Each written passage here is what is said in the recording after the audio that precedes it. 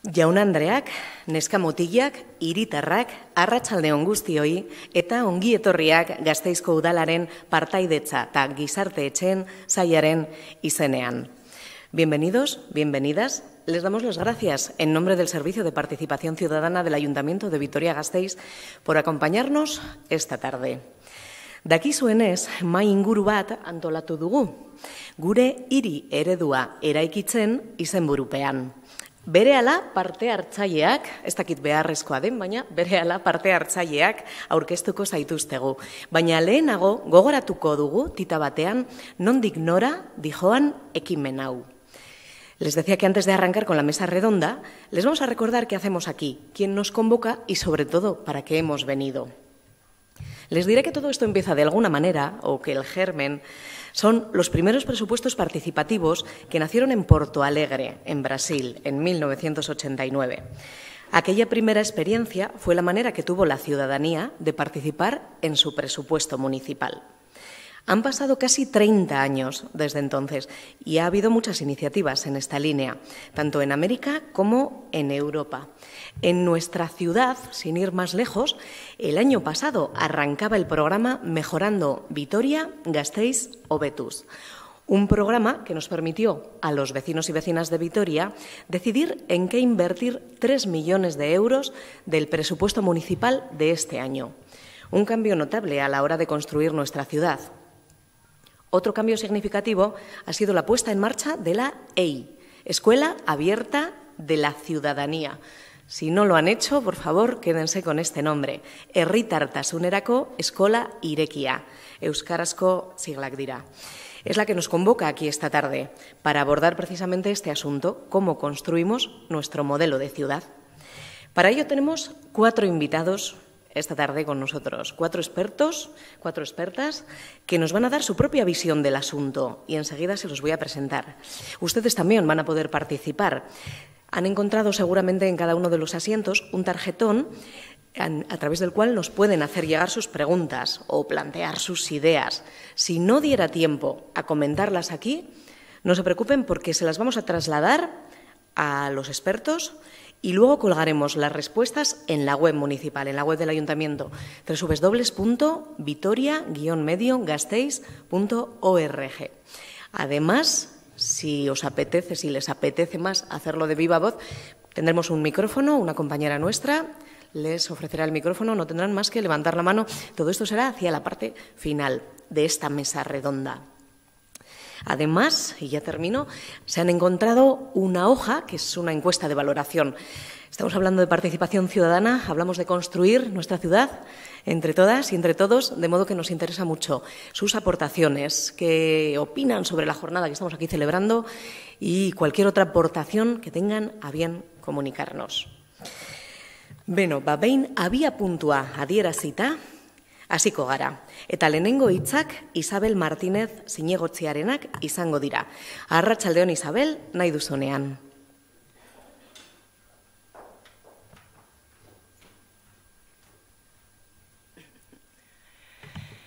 Arratsaldeon guztioi eskerrikak eskerrik asko eh, ekitaldi honetara etortzeagatik. Buenas tardes a todos y a todas. Gracias por haber acudido a este aula abierta que forma parte de las actividades que la Escuela Abierta de la Ciudadanía ha puesto en marcha este curso académico. Es para mí un placer en este momento tener en Vitoria a estos cuatro ponentes que nos van a hablar de el modelo de eh, un modelo de una ciudad, eh, el modelo de Vitoria podría ser eh, basado en su experiencia, evidentemente, eh, laboral, profesional y de todo tipo.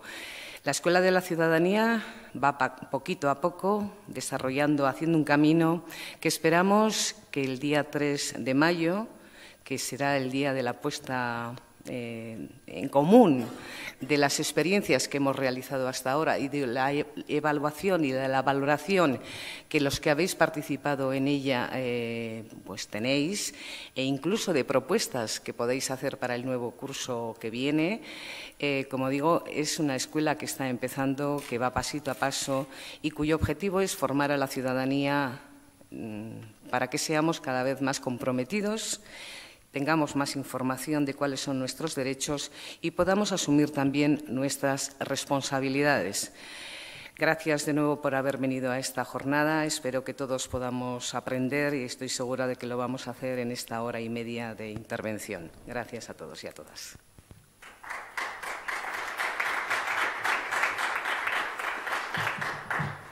Es que ricasco, Isabel. Ahora sí, vamos a presentarles ya a nuestros invitados, a nuestras invitadas.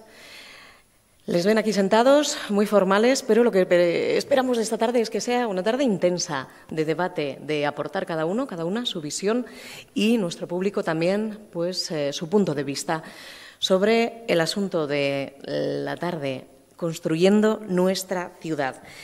Eh, nuestro primer invitado le conocen bien ustedes, José Ángel Cuerda, es abogado y profesor universitario. Ha sido diputado en el Congreso y en el Parlamento Vasco. Fue alcalde de Vitoria-Gasteiz desde 1979 hasta 1999 y actualmente es presidente de Visitza Berría, una asociación para la integración social de personas sin hogar. No me cabe todo su currículum, pero quiero terminar diciendo que es también Premio Ignacio Yacuría 2015. Cuerda Yauna, José Ángel, Onguietorria. A su lado, no, a su lado, que se me ha movido, tenemos a Melania Moscoso, a Rachaldeón, Melania. Ella es licenciada en Pedagogía por la Universidad de Deusto y doctora en Ciencias Políticas y Sociología. En la actualidad es profesora de Antropología en la UPV y además investiga temas relacionados con la discapacidad. A Rachaldeón, Melania, buenas tardes. Junto a Melania tenemos a Menchu Ramilo Araujo. Es, me ha dicho antes, que es eh, profesional interdependiente. Luego va a salir, pero mm, formalmente diremos que es licenciada en Ciencias Políticas y de la Administración por la UPV. En la actualidad trabaja en temas relacionados con la participación ciudadana, trabajo colaborativo, empoderamiento y TIC, bien común, etc. Bienvenida, Merche. Eta bukatzeko Martín Gartzia India dugu, Arratsaldeon Martín. Martín Gartzia India es licenciado en Derecho y especialista universitario en Ordenación y Gestión del Territorio por la Universidad Pública Vasca, la UPV, con máster en Derecho de la Energía es el síndico, el defensor del vecino, desde el 30 de noviembre de 2012. Y además es presidente del Tribunal Arbitral de Consumo de nuestro ayuntamiento. Muy buenas tardes, Martín. Bueno, ellos son nuestros expertos invitados esta tarde. Cada uno de ellos dispone de diez minutos. Es poquito tiempo, pero es mucho tiempo también para que nos presenten su modelo de ciudad. En el caso de José Ángel Cuerda, una ciudad social e integradora. José Ángel, nahi duzunean. Aurrera, Mercedes.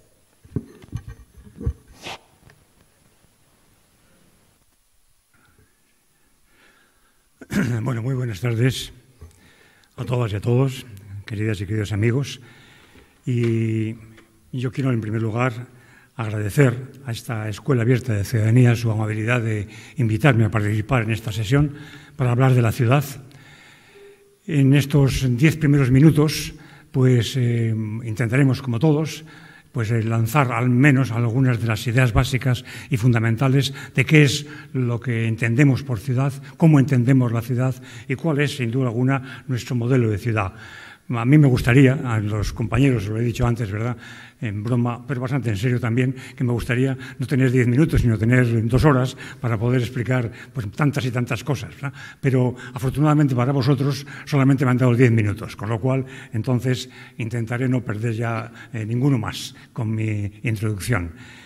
empezaré intentando mm, recordar algunos conceptos básicos sobre qué es la ciudad, qué es una ciudad. Mm, y yo diría que la primera respuesta que yo quiero ofreceros a todos es que la ciudad es una comunidad política. Yo diría que es probablemente la comunidad política esencial. Y es una comunidad política que supone que es una organización social e histórica de todas las personas que viven en un territorio y cuya finalidad es el bienestar de todos ellos. Es decir, que cuando estamos hablando de política, estamos naturalmente identificando política con bienestar. Y eso me parece que es absolutamente fundamental. Por si naturalmente mi eh, afirmación no tuviera validez, yo quiero mm, remontarme a, hace bastante tiempo ya a un documento probablemente desconocido para la inmensa mayoría de, las personas, que es pues nada menos que la Constitución de Cádiz en 1813. Después de ese, ese, triple, eh, diríamos, eh, argumento que, lo constituyó la Declaración de Independencia de Estados Unidos, la Revolución Francesa y la Constitución de Cádiz en 1813, en la que se nos dice, en su artículo 13, rotundamente, rotundamente, que el fin de esta comunidad política no es otro que el bienestar de los ciudadanos que la integran. Esto me parece que es absolutamente fundamental. Y así, de esa manera, después, años después, recientemente, podemos encontrarnos con una serie de textos, como por ejemplo, pues la Carta de Salvaguarda de los Derechos Humanos en la Ciudad, en cuyo artículo primero se nos vuelve a decir, la ciudad es un espacio colectivo que pertenece a todos sus habitantes, que tienen derecho a encontrar las condiciones para su realización política, social y ecológica, es decir, para su desarrollo personal, para su bienestar, asumiendo deberes de solidaridad. Esto es la ciudad, en definitiva, una comunidad política. Esto creo que es absolutamente importante y fundamental. De ahí, naturalmente, va a derivar el hecho de que si eh, es en la, en la ciudad esencialmente en la ciudad como comunidad política básica, donde podemos encontrar, donde esperamos encontrar nuestro bienestar, nuestra realización personal en todos los ámbitos de la vida, naturalmente, de ahí naturalmente que se, haya puesto de manifiesto lo que se llama ya en este momento, sin ninguna ambigüedad, el derecho a la ciudad. El derecho a la ciudad que lo proclamó en 1968 el filósofo francés Henri Lefebvre y que ha venido naturalmente seguido de una serie de declaraciones, desde la Carta Mundial de 2005, la Declaración de, de México, y eh, también en otro documento um, bastante desconocido que es el derecho, perdón, la Declaración Universal de Derechos Humanos Emergentes en cuyo artículo séptimo se habla rotundamente del derecho a la ciudad, porque precisamente si todos tenemos, aspiramos a ese bienestar, tenemos que tener derecho a ese espacio colectivo donde podemos encontrar, donde encontramos efectivamente mm, con esperanzas y con contradicciones, esperamos naturalmente ese bienestar, ese desarrollo nuestro. Bien. No voy a hacer referencia, punto segundo, a lo que podemos, ser, podemos entender los, elementos y las dimensiones de una ciudad, porque sería alargarnos demasiado. Solamente mm, pues, eh, citar que la ciudad es eh, fundamentalmente tres, tiene tres elementos. Eh, el espacio, la cultura y la identidad. El espacio, que es el espacio físico, espacio social, espacio organizacional y espacio simbólico. La, cultura, que es la creación de una la creación colectiva de un modo de vida, eh, es efectivamente un proceso, un proceso en el que eh, la pluriculturalidad ansiamos convertirla en interculturalidad. Y es por último una identidad, una identidad social y urbana que nos eh, posibilita una pertenencia, un sentimiento de pertenencia a esa comunidad política a la que yo me refería, a esa ciudad, el sentirnos pertenecientes a nuestra ciudad. Junto a estos elementos de la ciudad, también simplemente mencionarlos, están también lo que otros expertos en la materia han considerado que son las dimensiones de la ciudad.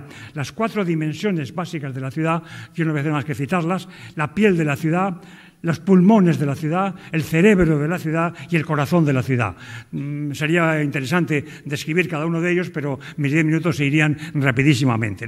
Por eso, fundamentalmente, con este antecedente de la ciudad eh, como comunidad política, como comunidad en la, que en la que aspiramos a alcanzar nuestro bienestar, cuando hablamos naturalmente de qué tipo de ciudad anhelamos, de cuál es nuestro modelo de ciudad, tendríamos, tendremos, al menos el mío desde mi punto de vista, tendremos que partir naturalmente parte dunha serie de valores básicos e fundamentales. Valores básicos e esenciales como son naturalmente la libertad, la igualdad y la fraternidad, los tres clásicos naturalmente, pero junto a ellos también la reafirmación de la dignidad, la de la dignidad como valor, como valor supremo, como valor absoluto de toda persona, cualquiera que sean sus circunstancias. Y junto a ello, naturalmente, nos encontramos la democracia y nos encontramos la participación, el ciudadano y la participación. Democracia es poder del pueblo, poder del ciudadano. El ciudadano tiene que participar. El ciudadano no puede ser sencillamente, como nos alertaba ya Monsiváis hace bastante tiempo, cuando nos decía el gran problema de nuestra democracia actual es es que el pueblo, no me refiero al pueblo con mayúscula, sino el pueblo, los ciudadanos, se han convertido en público, se han convertido en público, se han convertido en espectadores.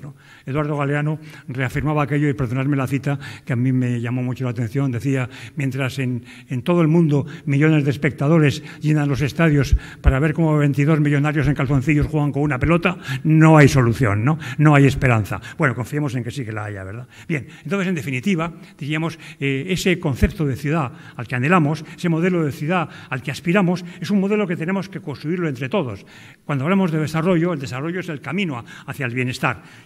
Ese camino hacia el bienestar se construye eh, naturalmente a través de la satisfacción de los derechos humanos. De los derechos humanos, que tampoco voy a hacer referencia a ellos, los derechos civiles, los derechos políticos, los derechos sociales o económicos, sociales y culturales, como queramos, naturalmente, los derechos de cooperación, los derechos de la, de la cuarta generación, etcétera, etcétera. Bien, todo esto, todo esto, diríamos, nos puede ir llevando hacia algo que es ya dar respuesta muy concreta a qué modelo de ciudad eh, nos parecería que sería el más adecuado.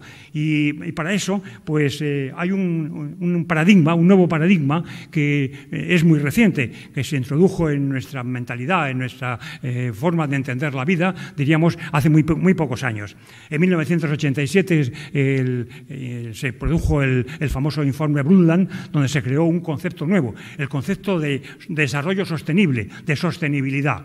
Luego fue en Río, cuando en 1992, eh, en la cumbre de la Tierra, el, desarrollo sostenible se convirtió ya efectivamente en ese paradigma básico y fundamental que afecta a todas, a todas las comunidades, a todo nuestro paso por la Tierra. El futuro que, queremos y que anhelamos, naturalmente, ahora está convertido naturalmente en un futuro sostenible. Entonces, el modelo de ciudad, el modelo de ciudad eh, que no se cuestiona, que parece que es el, modelo eh, evidente, es el modelo de una ciudad sostenible de una ciudad sostenible. La sostenibilidad, la sostenibilidad, pues naturalmente tiene, como vosotros sabréis mejor que yo, tiene una triple dimensión, una dimensión social, una dimensión económica y una dimensión medioambiental. Eh, eh, en base a estas tres dimensiones construimos naturalmente nuestra ciudad, nuestra ciudad sostenible. Y mm, el concepto de sostenibilidad, este nuevo paradigma, insisto, que supone, ha supuesto eh, y debe suponer una auténtica revolución a todos los niveles, en todo tipo de comunidades, en todo tipo de relaciones humanas, entre nosotros y entre todos los, habitantes del mundo, pues diríamos también ha sido analizado y yo quiero, pues para mm, aprovechar algunas referencias, concretamente una que a mí me llamó mucho la atención en su momento y que era la expresión de un de un famoso arquitecto. El famoso arquitecto es Richard Rogers, fue un, eh, premio eh, de arquitectura del año 2007 y tiene una obra preciosa que se llama Ciudades para un pequeño planeta. Pues en estas ciudades para un pequeño planeta, él tiene un una larga elaboración sobre lo que es una ciudad sostenible, cómo anhela él que una ciudad sea una ciudad sostenible. Porque a veces lo de la sostenibilidad parece que hace referencia a aspectos económicos o industriales o medioambientales. No, no, es que él empieza diciendo, una ciudad sostenible es una ciudad justa, lo primero de todo, una ciudad justa, donde la justicia, los alimentos, la vivienda, la educación, la sanidad, las oportunidades se distribuyen equitativamente y donde todos sus habitantes se sienten partícipes de su gobierno. Eso es una ciudad sostenible. Pero él dice, ya más sostenible es más cosas. Es también, solamente voy a citarle la referencia, una ciudad bella, una ciudad creativa, una ciudad ecológica, una ciudad que favorezca las relaciones, una ciudad compacta y policéntrica, una ciudad diversa. Todo esto, todo esto, en su desarrollo, naturalmente, es lo que Richard Rocher entiende que es una, eh, una ciudad sostenible, una ciudad sostenible. Y aún, naturalmente, si tuviéramos que avanzar eh, algo más en, todo este tema, nos podríamos encontrar ciertamente con una serie de de declaraciones, pues que a través de ese movimiento mm, europeo de ciudades sostenibles, desde Albor en 1994 y su famosa Carta de Albor hasta Bilbao 2016, efectivamente ha supuesto ocho conferencias eh, europeas de ciudades sostenibles, donde se ha ido naturalmente eh, madurando eh, todo este concepto de ciudad, de ciudad sostenible. Mm, en este sentido también eh, no podemos olvidar que el concepto de desarrollo sostenible es un concepto que se aplica y que se debe aplicar a todas nuestras relaciones, eh, a nuestra ciudad como comunidad política básica, pero también naturalmente a las relaciones entre todas las ciudades del mundo, entre todos los estados del mundo, para que efectivamente en todos los lugares se pueda alcanzar ese clima de auténtica sostenibilidad. Y para ello, para ello, pues eh, ha habido desde Naciones Unidas y desde el Programa de Naciones Unidas para el Desarrollo, ha habido también evidentemente, una, una serie de actuaciones importantes. Recordaréis todos precisamente la Declaración de Desarrollo del Milenio, ¿verdad?, eh, que ha estado vigente hasta el año 2015, ¿verdad?, y que al final de ese 2015 el resultado ha sido pues que aquello no había dado resultado, que había sido un fracaso rotundo, ¿verdad? Entonces se crea un nuevo futuro y para ese nuevo futuro se, se construye la Agenda Post-15, los nuevos 15 años del 2015-2016 más exactamente hasta 2030. Y ahí se establecen lo que son los objetivos de desarrollo del milenio. En esos objetivos de desarrollo del milenio, 17 objetivos, está claro que están incluidas y de una manera expresa las ciudades. En el objetivo 1, 11 habla efectivamente de que como todas las ciudades deben efectivamente trabajar y esforzarse por todos estos elementos que ya ese Richard Rogers nos lo decía, cuando se hablaba naturalmente, de, fijaros, desde el objetivo número uno, poner fin a la pobreza, el dos, poner fin al hambre, el tres, garantizar una vida sana, el cuarto, una educación inclusiva, etcétera, etcétera, etcétera. Hasta 17 objetivos que son efectivamente lo que nosotros queremos para nuestra ciudad. Queremos que sea una ciudad sostenible, es decir, una ciudad donde efectivamente todos, sin excepción, todos sin excepción, puedan encontrar ese bienestar, esa satisfacción de sus derechos para poder avanzar ciertamente en el mayor grado posible de armonía y de felicidad. Todo esto, evidentemente, constituye, em, desde mi punto de vista, el, elemento clave y fundamental de lo que es una ciudad sostenible. Pero hay, y en ese minuto que dicen que me queda, ¿verdad? Eh, en ese minuto, simplemente por lo menos, mm, permítanme mencionar eh, lo que para mí es la estrategia básica y fundamental para conseguir una ciudad sostenible. Para que Vitoria sea de verdad una ciudad sostenible, en los que estos 17 objetivos de desarrollo sostenible se puedan cumplir, efectivamente hay, desde mi punto de vista, una estrategia básica y fundamental, que es la educación. La educación es, naturalmente, lo que constituye la estrategia esencial, la estrategia clave en una ciudad. La, eh, educación que, incluye, naturalmente, en su misma esencia el aprendizaje, el, aprender a vivir, el aprender a vivir con uno mismo, el aprender a vivir con los demás, el aprender a vivir con el medio ambiente, el aprendizaje que es absolutamente fundamental. La ciudad tiene que ser, efectivamente, la ciudad mm, como pedagogía. La ciudad tiene que convertirse en la ciudad escuela, en la que todos, efectivamente, eh, seamos agentes educadores agentes educadores, no solamente en la escuela o la universidad, sino todos, desde la familia, los medios de comunicación, las instituciones, todos nos convirtamos efectivamente en agentes educadores, porque de esa manera efectivamente estaremos potenciando el elemento clave y fundamental que es la ciudadanía, una ciudadanía en la que ciertamente el, objetivo de bienestar tenemos que alcanzarlo entre todos, en el que nadie pueda puede quedarse al margen del tema, en el que todos, y perdonad con esta referencia, todos somos naturalmente parte de una comunidad política, es decir, todos somos políticos. Yo recuerdo, y perdonadme la cita, y es la última ya, efectivamente, cuando hace unos meses estuve en Zaragoza dando una conferencia, en un catedrático de la universidad en el coloquio, cuando ya había hablado de que todos somos políticos, esencialmente por, naturaleza todos somos políticos, eh, y sin embargo, pues mucha gente, yo no voy a preguntar aquí, naturalmente que me den esa impertinencia, pero hay mucha gente que se declara apolítico, ¿no? Se declara apolítico, ¿no? Y decía aquel, aquel profesor de, de Zaragoza una frase que yo la transmito y con ello termino mi, mi intervención. Decía, cuando os encontráis con alguien que se declara apolítico, tener cuidado con él, porque no es un ser inocente, sino inútil. ¿no? Bueno, pues todo eso es lo que queremos, efectivamente. ¿no? Es que esta tarea de hacer una ciudad sostenible, una ciudad educadora, una ciudad integradora, sea de verdad una tarea de todos y que los ciudadanos nos convirtamos de verdad en auténticos protagonistas. Que seamos no espectadores, sino actores y aún más actores, autores de nuestra propia vida y de la vida de nuestra ciudad. Bueno.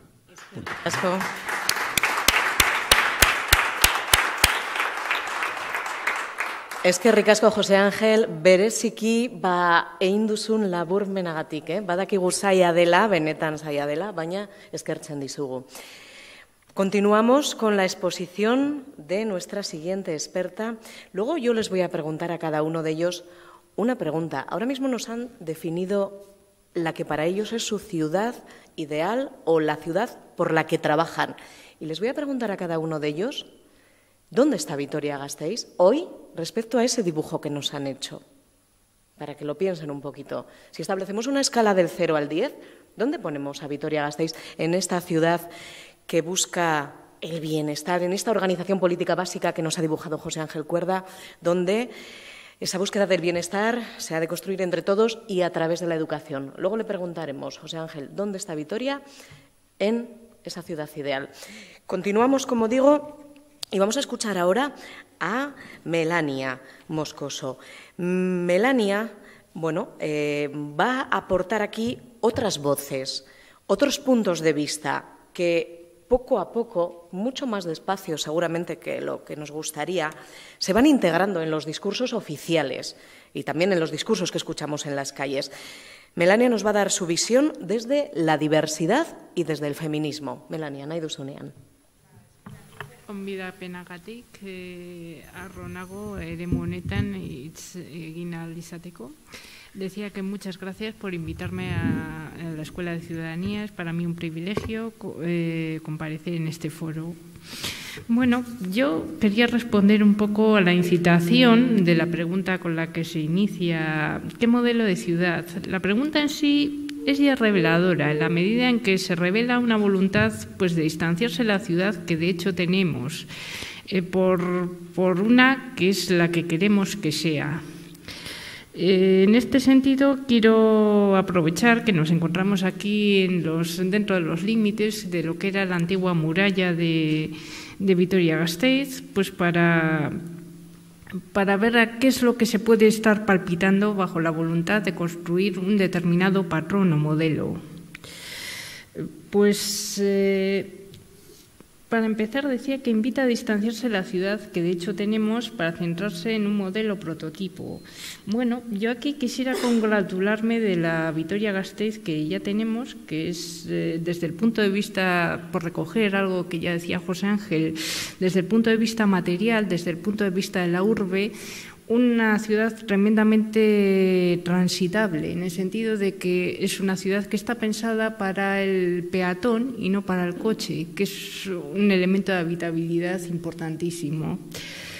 Y que también pues eh, deja emerger a personas con distintas características funcionales, con distintas limitaciones físicas. Eh, aquí eh, Silvia pues, de Guiñarine pues diría que, por supuesto, este mismo edificio tiene elementos de accesibilidad mejorables, pero en comparación con otras ciudades, Vitoria es una ciudad francamente transitable y acogedora.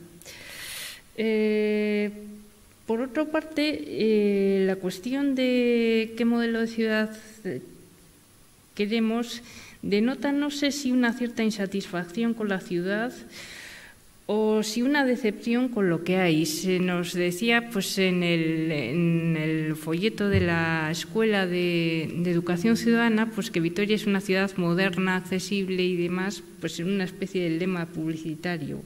Yo no sé si, si esta cuestión lo que denota es una cierta decepción, efecto, en efecto, el multiculturalismo y la modernidad era esto. Pues habrá que decir que a lo mejor sí, no lo sé y o si bien es una cierta nostalgia de la Vitoria que una vez fue, que está dejando de ser o que algunos recordamos también. Entonces, pues bueno, eh, también eh, con respecto a lo que comentaba el otro día Menchu respecto a la radio, pues cuando se habla de modelo 1, como ciudadano tiene la impresión de que se le está dando a escoger entre un menú con diversas cosas. Entonces, en ese sentido, pues eh, hay que plantearse si la ciudad y la comunidad política que somos, qué es lo que se puede elegir, si se puede elegir, un, desde luego se puede elegir, hay margen de elección en los presupuestos y demás, pero lo que no podemos elegir nunca es con quién se convive. O sea, eso es, viene dada por la pluralidad irreductible de lo que somos y no podemos elegir en ningún caso con quién convivimos. Entonces, pues en este sentido, desde el punto de vista de las instituciones públicas y de la educación para la ciudadanía, lo que no se puede hacer es pretender arrinconar el conflicto. El conflicto lo habrá siempre que haya pluralidad y hay que aprender a gestionarlo y a convivir con él. Eh, bueno, pues eh, con respecto a las eh, diversas facetas, pues ¿cuáles son los peligros que le acechan a Vitoria, según yo los veo? Pues bueno, que desde su entorno urbano pues muy satisfactorio, tiene el problema de poderse convertir en un escaparate, pues invitarnos a los vecinos a convertirnos en turistas de, nuestra ciudad, que sería pues uno de los problemas.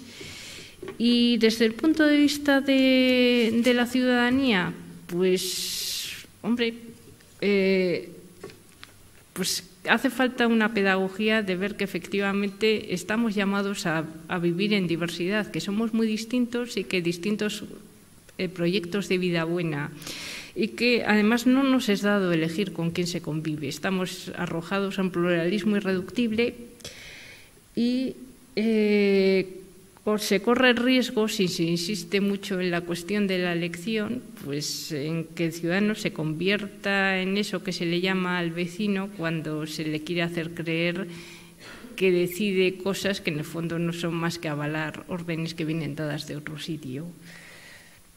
Mm,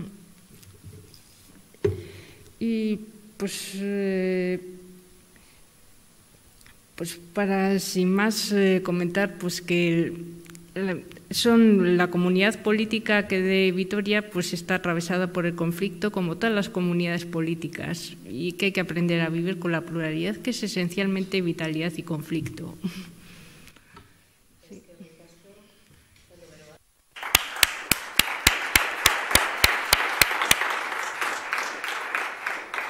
Melania nos ha no sé si nos ha dibujado su ciudad o nos ha lanzado muchos, muchas dudas, muchos planteamientos. En cualquier caso, Melania, eh, la pregunta que mm, lanzaba yo antes, eh, pues eh, os la digo para que la vayáis planteando.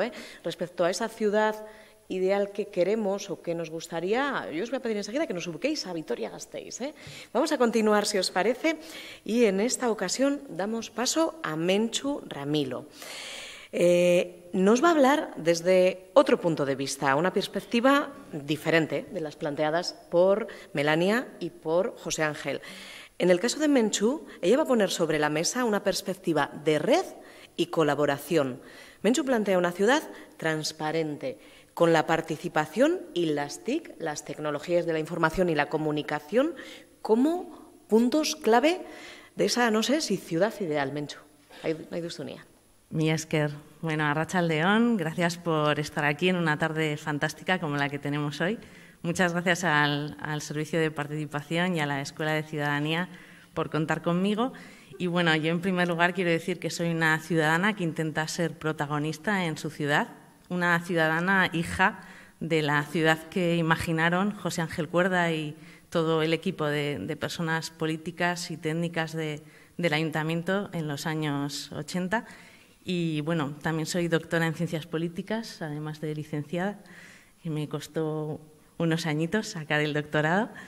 Y em, eso de mi definición de profesional interdependiente viene pues porque cuando decidí ser yo misma la que hiciera proyectos y pudiera facturar recursos que le permitan vivir con dignidad, eh, me propusieron ser empresaria individual o autónoma y la verdad es que yo no soy autónoma. Ah, también me propusieron ser profesional independiente y, yo necesito otras personas, eh, para empezar clientes o personas que me ayuden a desarrollar mis proyectos. Entonces acuñé el concepto profesional interdependiente que es abierto, colaborativo y que podéis reutilizar quienes os encontréis en, mi situación. En Twitter eh, soy arroba menchuwiki y os propongo que si queréis compartir eh, esta charla, pues podéis utilizar ese hashtag que creo que ya lo conocéis, pero por si alguien despistada aún no sabe que la Superescuela de Participación tiene presencia en redes, pues que lo conozca.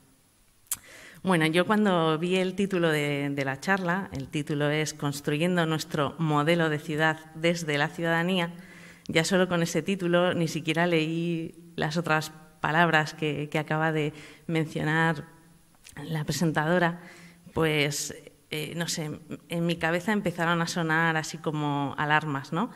E, ese concepto de modelo, cuando buscamos en Google Imágenes, nos lleva a modelos, también nos lleva a una silueta fantástica, impoluta, o también si buscamos modelos de ciudad nos lleva a modelos que están muy bien eh, documentados, pensados, planificados, organizados.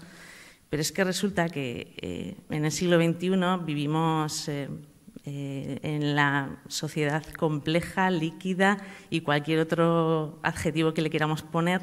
Y eso de modelo, algo estable, algo cerrado, estático, bello, que le puede gustar o no a todo el mundo, pues creo que es una, es una moda más, ¿no? Esos paradigmodas que suelo definir yo como elementos que cada cinco o seis años pues sale una moda como el gobierno abierto o la administración electrónica o la transparencia, ¿no? que son cosas que de sentido común las instituciones públicas tienen que tener incorporadas en su ADN, ¿no? que le digan a, a una institución que sea transparente cuando en sus normativas desde hace un montón de años aparecen esos conceptos o cuando los presupuestos tienen que ser abiertos y públicos.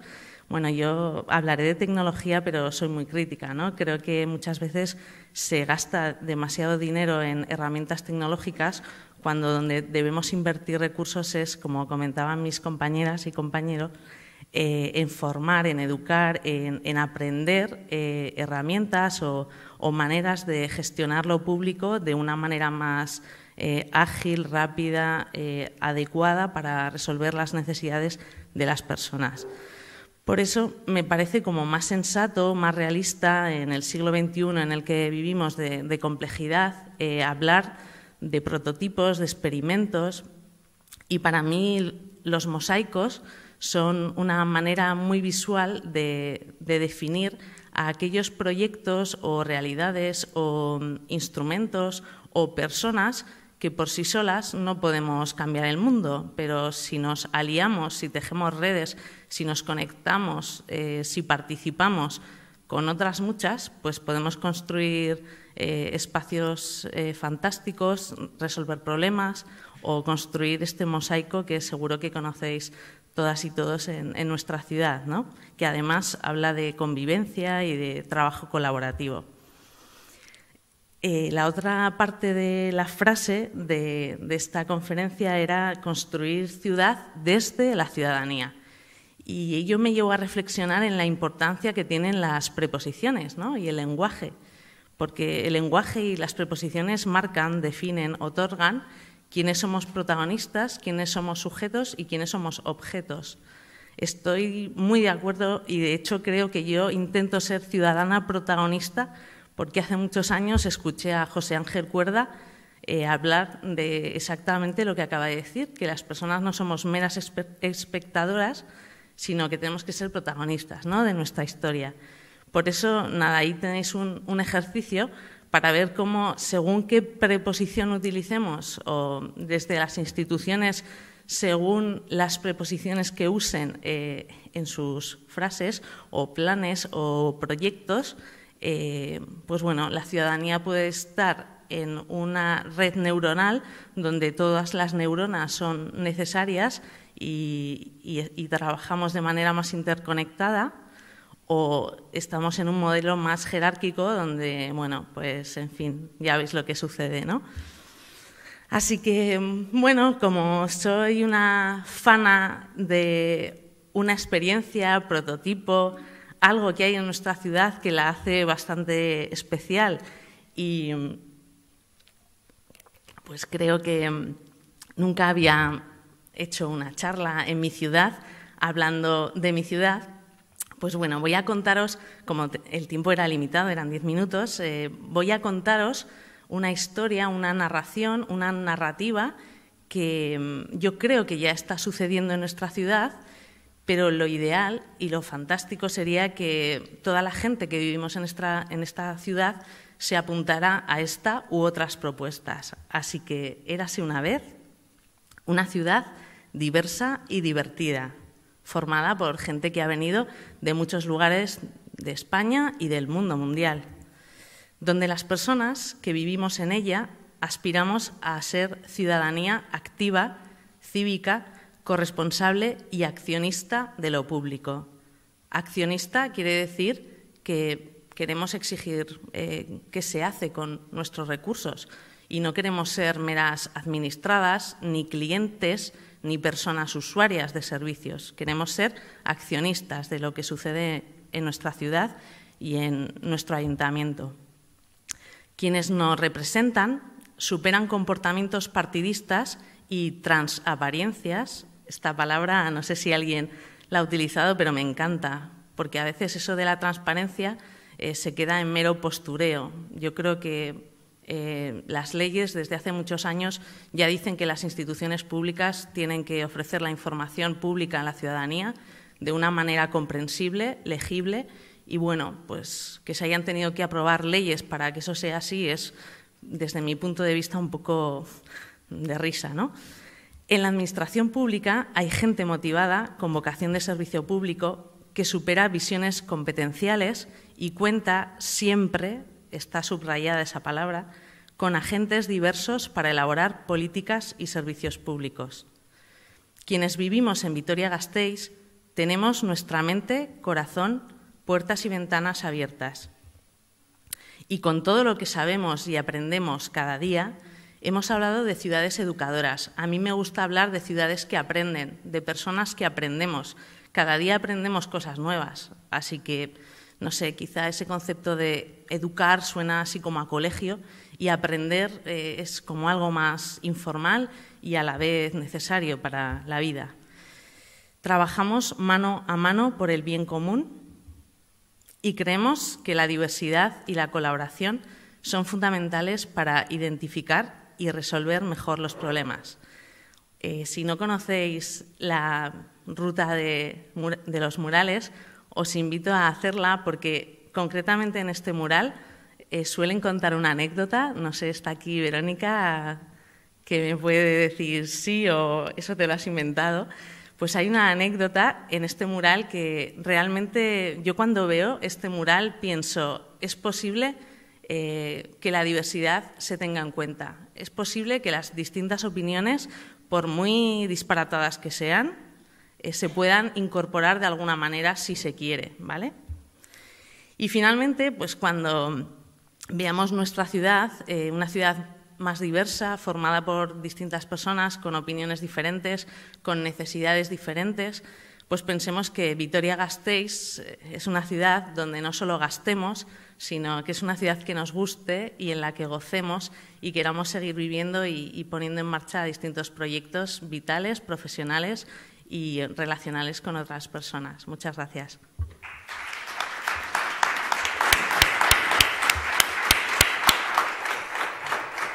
Es que Ricasco Menchu, doctora en Ciencias Políticas, que eso llega después de la licenciatura y con mucho trabajo, sí señora, discúlpame. Pedirles disculpas también porque en algún momento no se ha visto la exposición de Menchu. Te estaba refiriendo a un mural que yo no sé si lo puedes eh, y si sería posible que lo veamos un momento. No va a ser posible. Bueno, si luego tienen interés, Menchu nos lo va a mostrar porque yo sé que además es una obra que le gusta mucho, no va a tener ningún problema en, enseñárnosla. Vamos a avanzar en esta mesa redonda, hasta ahora estamos viendo exposiciones, enseguida llega el debate y lo hacemos con la intervención de Martín Garchiaindía. Eh, él va a cerrar este, estas exposiciones y, eh, bueno, por su trabajo, seguramente saben ustedes, él está muy cerca de la gente que hacemos, que, vivimos en la ciudad, que componemos Vitoria-Gasteiz, los vecinos, las vecinas. Por eso le hemos pedido que traiga a esta mesa su visión de la ciudadanía. Él es el transmisor, pero desde luego un transmisor con muchísima información y con un contacto directo de lo que pasa ahí detrás de esta puerta. Martín, nahi duzunian. Eskerrik asko, bueno, lehenik eta bain eskerrak gonbidatu nozuelako, benetan, ba, horea da eta plazerra da, ba, mai inguru honetan egotea, la, en fin, eh, kide interesgarri eh, cuando se plantea el, modelo de ciudad, eh, cuando bueno, pues se plantea una reflexión sobre esta cuestión, me resulta difícil descontextualizar el modelo de ciudad de lo, de lo que es el mundo y lo que es el mundo hoy en día, ¿no? en definitiva. Sin ánimo de grandes grandilocuencias, perdónenme, pero yo creo que creo que es evidente que en los últimos tiempos eh, se pone manifiesto que vivimos tiempos de gran incertidumbre. Y es verdad que el mundo es, muy complejo, es muy líquido y que es difícil un análisis eh, sosegado y sereno sobre nuestra realidad, pero yo creo que especialmente se está poniendo complicada la cosa. ¿no? Y por eso me parece que hay una serie de cuestiones que no deberíamos olvidar nunca y que deberíamos tener eh, presentes siempre como ciudadanos, ¿no? Eh, sobre las que creo honestamente que no cabe mucho debate. ¿no? Y, y para comenzar mi exposición tengo muchas cosas, muchas ideas, pero procuraré ser muy breve. ¿eh? Eh, no puedo evitar partir de esa frase un poco manida, si quieren ya demasiado usada, que es la de pensar globalmente, actuar localmente. Pero me parece que, es necesario y que aunque sea reiterado, y ya digo un poco manida la frase, es importante. Y por tanto, en esa sociedad líquida, eh, incierta, ¿no? a mí me gustaría destacar algunas cuestiones que creo que son bastante ciertas. Y es que el sistema político y social más avanzado, el más sofisticado intento de la humanidad por alcanzar la justicia y el bienestar colectivos en toda la historia de la humanidad, yo creo que eso podemos eh, afirmarlo, ¿no? han sido, ha venido representado por los regímenes democráticos instaurados en, en Europa, no en todos los países, pero en la mayoría de los países de Europa tras la Segunda Guerra Mundial. Yo creo que eso es interesante tenerlo en cuenta. Es decir, no significa que no sean eh, perfectibles, no significa que no sean mejorables, pero el sistema político más avanzado, más sofisticado, más justo que hemos creado los seres humanos, y más pacífico también, ha sido el, estado del bienestar de los países democráticos europeos. ¿no? España se incorpora muy tarde a ese movimiento, tarde a la modernidad, a Europa, eh, pero esos 40 años de bagaje de una dictadura también, eh, ahora que nos hablan de proteccionismo, nosotros vivimos 20 años de autarquía, sabemos de qué nos hablan, sabemos de qué nos hablan cuando, eh, en fin, pues determinados movimientos religiosos, tal, eso lo hemos vivido, ¿no? Estamos, yo creo que una de las ventajas que tenemos es que estamos vacunados de algunos vicios que ahora vemos que se ponen de manifiesto sobre la mesa en nuestro entorno, ¿no? En, los, años 60, en el año 68, mayo 68, todo aquel movimiento, se instauraron una serie de principios que han sido prácticamente indiscutidos hasta el presente. ¿no? Principios como la ecología, la sostenibilidad, el feminismo, eh, la paz, la paz como valor supremo. ¿no? Ahora que vemos un incremento de, repente de la, inversión armamentística, ¿no? algo que pensamos que ya no, no cabía creo que, insisto, eh, ya sé que parece que un poco me doy de, la idea, pero creo que es interesante contextualizar la, historia de la ciudad en ese contexto. Eh, a partir de los años 80, el neoliberalismo, desmantelamiento de servicios, liberalismo, tal. ¿no?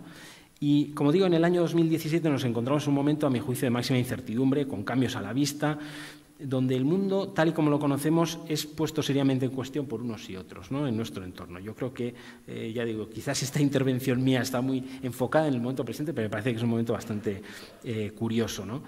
A su vez, Europa, ¿no? Europa también como creación internacional es el mayor logro de la historia europea. Yo creo que eso es indiscutible. A mí reconozco que me da cierta rabia ¿no? cuando alguien pone en cuestión un logro de este tipo. Es decir, es el periodo de mayor paz, de mayor eh, bienestar, insisto, eh, de la historia. Es decir, nunca, siempre hemos estado en guerras, siempre todos los países europeos. Eh, y, ahora vemos pues, como diferentes corrientes ponen en cuestión esa creación formidable, complejísima, con muchos problemas, muchas pegas, muchas cosas que mejorar, pero que como tal construcción yo creo que es indiscutible y creo que como ciudadanos, por eso todo este rollo, creo que como ciudadanos de a pie de aquí, de Vitoria de hoy, creo que hay una serie de principios que deberíamos asumir como, como, intocables, ¿no? de alguna manera. Y me parece que cuando se ponen en cuestión esta serie de valores, pues que es necesario revelarse y que es interesante pues, poner pie en pared, ¿no? de, de, alguna manera. ¿no? Entonces, esto es a nivel global, digamos, esto es como, como, leo yo el, el, estado actual un poco a nivel global, ¿no? pero esto tiene su lectura a nivel local. Y es que, como decía, nosotros nos incorporamos tarde a ese estado de bienestar, pero la verdad que hemos llegado, en nuestra ciudad en concreto, yo creo, unas cotas de bienestar pues, eh, más allá, más que razonables. ¿no? Es decir, yo creo que nuestra ciudad se caracteriza, pues es una ciudad muy cohesionada eh, en general, con distintas clases sociales, pero digamos con una interacción entre las distintas eh, clases, no hay guetos. Yo creo que el propio urbanismo de la ciudad también ayuda a que no se creen guetos, a que haya una mixtura de, de sectores sociales. ¿no? pero por eso digo, nos estamos acostumbrando, apenas nos habíamos acostumbrado al bienestar, a vivir en una ciudad segura, amigable, eh, cohesionada, eh, en fin, con un nivel económico aceptable. ¿no? Cuando de repente vienen todas estas corrientes que están haciendo mella y que yo creo que van a seguir haciendo mella, y, nos encontramos con que se pone en cuestión y se pone en riesgo también todo eso que hemos apenas hace poco que hemos, que hemos conseguido. ¿no? Y ahí es, yo creo, donde el papel de la, ciudadanía es crucial, precisamente, ¿no? en la resistencia frente a ese desmantelamiento, ese intento de, banalizar también, de trivializar esos logros. ¿no? Eso es lo que me da rabia, es decir, que se, que se trivialice, que, se, que podamos hacer chanzas sobre estas cuestiones, ¿no? cuando realmente ha costado mucho, mucho sufrimiento. ¿no?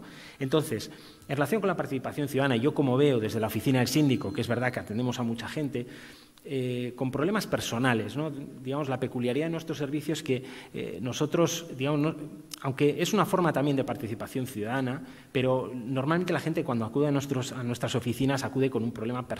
¿No? ¿Por qué? Pues, y esto nos lleva ya a la participación ciudadana, que es un tema que me gustaría eh, tratar. ¿no? Porque evidentemente la gente se moviliza más cuando un problema le afecta más directamente. Esto es una obviedad, pero es así. ¿no?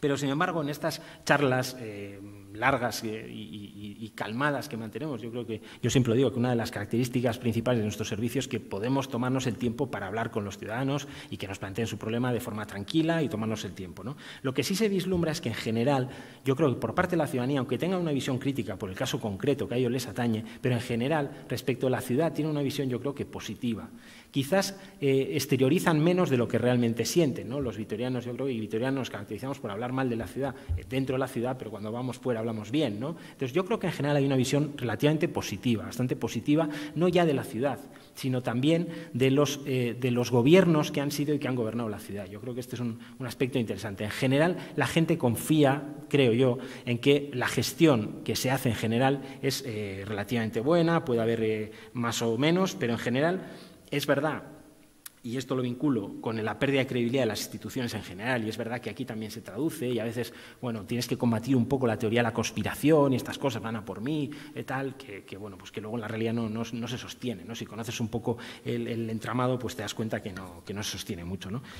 Eh, pero como digo, en general, una visión eh, positiva pero, eh, y, eso se traslada también a la participación ciudadana. ¿Qué quiero decir? Es decir, la participación ciudadana podría ser más eh, cuantiosa, más numerosa, más intensa.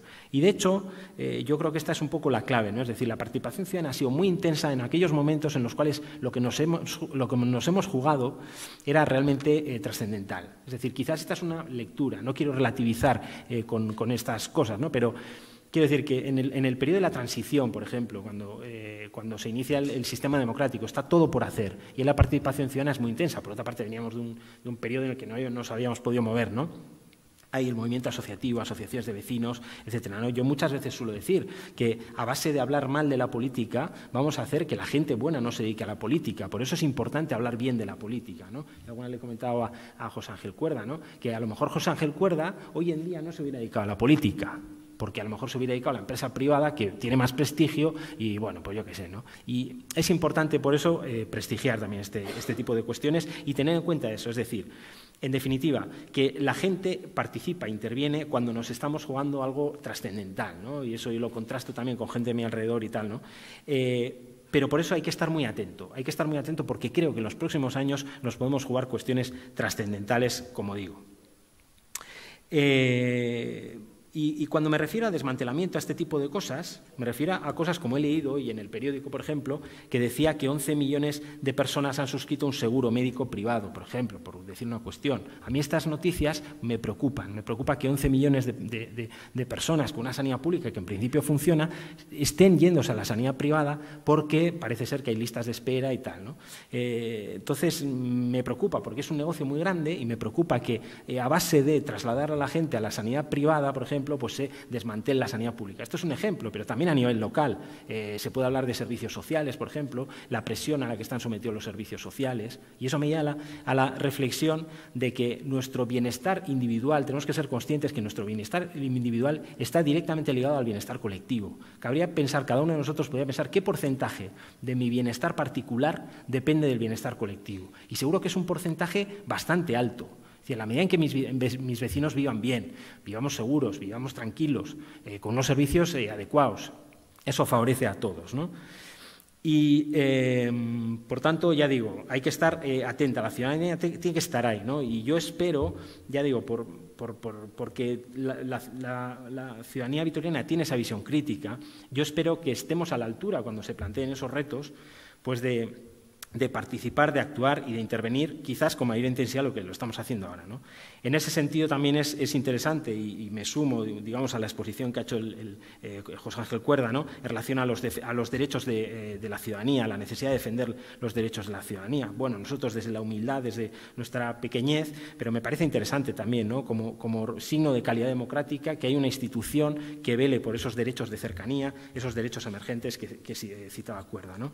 no voy a meter más eh, rollo, me plantea la cuestión de la participación ciudadana, si quieren luego podemos extendernos sobre esta cuestión, ¿no? las debilidades de la participación ciudadana, ¿no? esta cuestión de la importancia relativa de los problemas, son problemas que atañen a los, al colectivo, a la generalidad, no me afectan a mí eh, particularmente, porque cuando me afectan a mí particularmente entonces me movilizo. El autobús del colegio el, no sé, el hospital que no sé qué, o las cuestiones particulares que a mí me atañen. ¿no? Entonces, eh, bueno, y por otra parte, ya digo, yo creo que tenemos cierta confianza en que, en que los gestores públicos pues, lo hacen razonablemente bien. ¿no? Eh, la individualidad también está ligada, la cuestión del tiempo, ¿no? la, conciliación entre la vida personal y, los órganos de participación. Es decir, en, definitiva, y dejo ahí un poco la pregunta, ¿no? le pedimos a la gente que participe y le estamos pidiendo y, y reclamando que participe, pero yo me pregunto eh, qué le ofrece a la ciudadanía la participación ciudadana. ¿no? Es decir, ¿qué le ofrece? Yo creo que esa reflexión es interesante. ¿Qué le vamos a ofrecer a la ciudadanía? Es decir, la simple, em, digamos, em, la satisfacción de, obtener determinados resultados. Bueno, la política es frustración en un porcentaje altísimo también. Entonces, muchas veces defendemos una idea, pero luego es difícil que se lleve a cabo. Eh, eso se plantean las dudas sobre la efectividad de la participación. Eh, advertimos, sobre todo, en la oficina de síndicos es bastante notable, ¿no? el desconocimiento sobre las instituciones. Por eso la importancia de escuelas como esta. ¿no? La, gente tiene que conocer las instituciones, tiene que saber moverse en este complejísimo entramado institucional, porque hay que decir que no tenemos un entramado fácil, pero tiene que saber moverse aquí, porque si no, eh, se han citado los presupuestos, ¿no? por ejemplo. meterse en la maraña de un presupuesto pues es complicadísimo, ¿no? si uno no tiene la formación. Eh, además, eh, a eso sumaríamos algo a lo que siempre aludimos, ¿no? que es la complejidad de los textos, la complejidad de la información que se nos facilita. Se nos facilita mucha información, a veces demasiado, a veces nos enmarañan con información, pero luego encima cuando pretendemos entenderla, pues la verdad es que las dificultades no son pocas. ¿no? Hace poco, eh, yo lo citaba, hubo un par de se han dictado un par de sentencias el Tribunal Superior de Justicia de Asturias en relación con la incapacitación de una mujer. Qué cosa más bonita, ¿no? Una persona que iba a ser incapacitada porque tenía un principio de demencia, pero sin embargo era capaz de entender hasta cierto punto. Bueno, pues el tribunal se tomó la molestia de eh, traducir, digamos, al lenguaje sencillo, al lenguaje de fácil lectura, las sentencias de forma que la señora pudiera entender por qué iba a ser incapacitada, en qué aspectos y tal y qué cual. Esa, eh, sensibilidad hacia la ciudadanía, también con, las situaciones de discapacidad y otro tipo, pues eh, me parecen importantes. En definitiva, yo lo que aspiro es a que la ciudadanía esté atenta en este punto de incertidumbre y a que sepa responder a los retos que se nos van a presentar y, sobre todo, que no se relativice. Vamos a vivir en un mundo en el que van, a tratar de imponer la mentira. La mentira ha sido un éxito en muchos países, la mentira es un éxito en Rusia fantástico. Hace poco leía un artículo y me convencía mucho, es decir, el cerebro tiene capacidad de discriminar una mentira, eh, pero cualquier oración que le lancemos al cerebro, en primer lugar, la, gestiona como si fuera una verdad. Y solo después de un importante esfuerzo metabólico es capaz de poner en solfa esa frase y decir, no, esta frase es mentira. Pero eso implica un esfuerzo mental importante, de forma que tres, cuatro, cinco veces, bien. Pero ya cuando nos lanzan 20 mentiras, al final ya nuestro cerebro no tiene capacidad. Y entonces nos acabamos creyendo cualquier cosa absurda que nos hayan repetido 20 veces. ¿no? Entonces, la visión crítica, es decir, saber informarse, que no nos vendan la, verdad como mentira. Eso exige, como ciudadanos, nos, va a exigir, creo, un esfuerzo ímprobo porque eh, bueno, pues nos van a bombardear también con este tipo de cuestiones. Ahí termino, Escaricasco y Barcato. Gracias por la paciencia.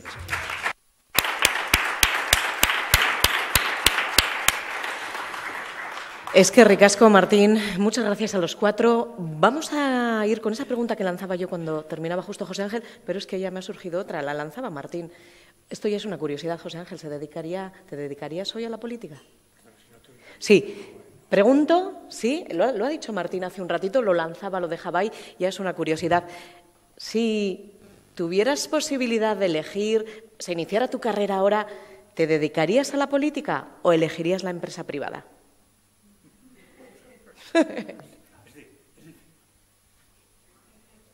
Es difícil contestar ahora, ¿verdad? Pero tiene que ser rápido, eso sí que te no, pido, rápido, por favor. rapidísimo. Yo creo que, no sé, por, por mi vida, yo terminé la carrera de Derecho a los 22 años. Desde los 22 años empezamos a crear una serie, desde el Club Aquinas, a lo mejor alguno de los veteranos se acuerda con el Club Aquinas y con una serie de cosas, ¿no? Efectivamente, a los 25 eh, em- empecé a dar clase en la Escuela de Trabajo Social, la Asistente Social se llamaba entonces, y toda mi vida ha ido un poco en esa línea, ¿no?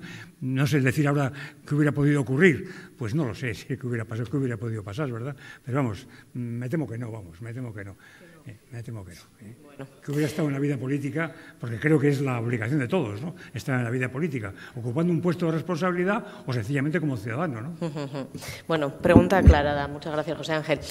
Eh, decía yo, respecto a la ciudad que habéis dibujado, algunos la han dibujado más, otros han lanzado, otras han lanzado interrogantes. Yo quiero que me digáis dónde está hoy, 2017, marzo de 2017, dónde está Vitoria. Si tenemos una escala del 0 al 10 respecto a esa ciudad ideal a la que queremos tender, por la que queremos trabajar, ¿dónde está Vitoria? Me contestáis con un número, esto es rapidísimo. Martín, O le daría un 8, una cosa así. Vitoria está en un 8 en esa escala de tu ciudad, ¿de acuerdo? Menchu, en tu caso, ¿cómo ves, cómo ves tu ciudad?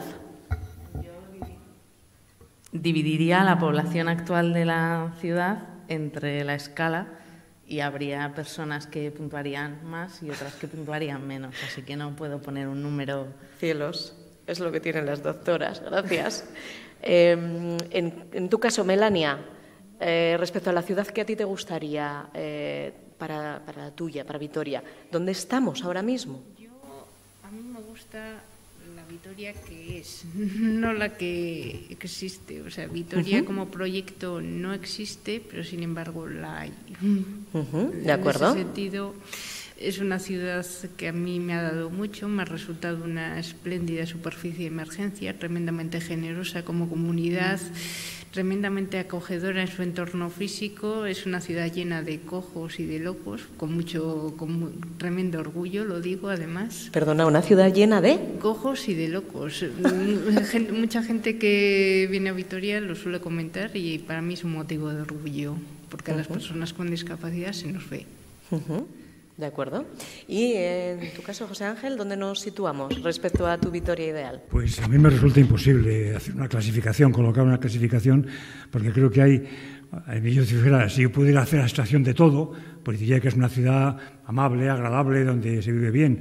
Pero claro, es que cuando simplemente uno sale a la calle, se da cuenta que hay muchísima gente que lo está pasando muy mal, horriblemente mal. Y claro, entonces mm, decir que la- nuestra ciudad pues me- me- merece matrícula de honor o suspenso, pues para algunos merecerá una matrícula de honor, pero todavía tenemos muchísima gente, muchos cientos y muchos miles de personas que lo están pasando muy mal. ¿no? Yo te diría que dentro de esos miles de personas que están sufriendo fundamentalmente la pobreza, pero no solamente la pobreza económica, la pobreza económica, la pobreza educativa, la pobreza cultural, la pobreza de alojamiento, la pobreza de tantas cosas, ¿verdad? Y yo diría que hay, mm, hay algo que, que a mí me resulta siempre especialmente doloroso o hiriente, que es el tema infantil, el tema de los niños. ¿no? Parece que esto es un tema absolutamente preocupante. Y creo que hay, eh, bueno, el, tema de, no sé cuánto, no sé qué porcentaje hay, si hay un 20%, o un 15% o un 30%, efectivamente, de pobreza dentro de Vitoria. Pero ver efectivamente los niños que están ahí, yo tengo mucha relación a través de pues, las asociaciones a las que yo pertenezco, ¿verdad? Y cuando te encuentras con una, por ejemplo, pues con, todavía hace dos o tres días, con una madre, ¿no? Eh, que tiene cuatro niñas pequeñitas, me decía, no, es que eh, las lleva, no los puedo llevar, los lunes no van al, era un lunes, los lunes no van al colegio. Eh, va a una escuela pública, ¿no? ¿Y por qué no van al colegio? Porque hace falta ropa de deporte y no tengo para comprarle ropa de deporte. Bueno, pues bien, pues pero todo eso, ¿no? O lo que también algún experto ha calificado diciendo que es el efecto perverso de la pobreza infantil, porque no solamente es la pobreza infantil en los pr- primeros años, sino que esa pobreza infantil luego efectivamente genera lo que es el abandono escolar, lo que es efectivamente esos jóvenes que no tienen ni trabajo, ni tienen información, ni tienen nada, ¿no? Creo que ahí es donde tenemos, me parece, un gran agujero, ¿no? Ahí es donde creo que habría que hincar el diente y habría que insistir profundamente, ¿no? En el tema de la educación y el tema de la educación educación infantil. ¿no? Comprendo que es complicado, ¿verdad? Pero creo que para mí ese es el elemento. Todas las demás cuestiones, pues bueno, habrá cosas que están muy bien, otras menos bien, cada uno. Pero ese tema me parece que es un tema que me parece, a mí por lo menos, bueno, me, me enerva, ¿no? ¿Eh? Decir que recientemente se han aprobado los presupuestos de la ciudad, donde tienen un componente, una partida importante eh, de componente social. No llega, es evidente que no. Eh, quería preguntarle al resto, en, eh, bajando a la tierra, pisando el suelo del Palacio de Villasuso, dentro de la muralla, como decía Melania, eh, eh, leemos en la página web que los presupuestos, bueno, pues son unas cuentas que refuerzan la victoria Gasteiz moderna, abierta, plural, diversa, tolerante, participativa. ¿Qué es para vosotros una victoria moderna y abierta, por ejemplo? ¿Qué significa eso en la realidad? ¿En qué se traduce? ¿Cómo lo veis? ¿Es así o no? La lanzo para que intervengamos todos, si os parece. ¿eh? Y enseguida vamos a dar paso al público. Eh, os pido, por favor, que si alguien tiene alguna pregunta, bien nos la mm, lance de viva voz o nos la escriba. Sí, Martín. Yo, hay, hay, una, hay una palabra que, que ha dicho que ha dicho Melania, que ha citado Melania, que era la de la nostalgia, ¿no? Y yo es algo que lo he apuntado porque la verdad que lo, advierto mucho, ¿no? En, las conversaciones que mantenemos con la ciudadanía y tal, advertimos mucho esta cuestión de la nostalgia. Y yo creo que, que es importante que nos vayamos quitando encima eh, la idea de una ciudad que no va a volver y que no va a volver. Mmm, para mí no es deseable que vuelva, lo digo sinceramente, porque, porque luego también, bueno, pues oigo, oigo historias también, ¿no? Que me cuenta la gente sobre esa, eh, sobre esa ciudad que fue hace no tanto tiempo y, y, bueno, te das cuenta que eran historias de auténtica ciudad de provincias, ¿no? Por ejemplo, en el peor sentido de la palabra, ¿no? Por decir algo. Eh, entonces, eh, bueno, pues quiero decir que nos tenemos que quitar esa nostalgia. El mundo ha cambiado, va a ser de otra manera y entonces tenemos que adaptarnos a ese mundo y, y, lo mejor es que nos adaptemos lo más dignamente posible a esa nueva realidad. ¿no? Y cuando me refiero, por tanto, o sea, cuando hablamos de una ciudad moderna, pues evidentemente una ciudad moderna es una ciudad diversa, porque no hay ninguna ciudad en el mundo, creo que no sea diversa hoy en día ya, ¿no? Eh, bueno, pues eh, esta, esta, paradoja ¿no? que se plantea que los, los, bienes y servicios pueden ir por, por aquí y por allá, pero sin embargo las personas no. Pero en todo caso llegan, llegarán y estarán y serán nuestros vecinos. Y entonces yo creo que mantener esa cohesión que hemos sido capaces de mantener en, en oleadas, por ejemplo, de inmigración muy potentes también que ha habido, yo creo que es fundamental. Y tenemos, tenemos que trabajar en eso porque es nuestro principal activo. Es decir, a pesar de todo, a pesar de las inmigraciones masivas que ha habido, hemos sido capaces de mantener una ciudad cohesionada, amistosa, amigable. Eh, en fin, segura y de todo. ¿no? Yo creo que esa sería una de las cuestiones, por ejemplo. Pero sobre todo quitarse la nostalgia porque no va a llegar y además que es que eh, casi ningún tiempo pasado fue mejor en realidad. Entonces, eh, bueno, me quedo con eso.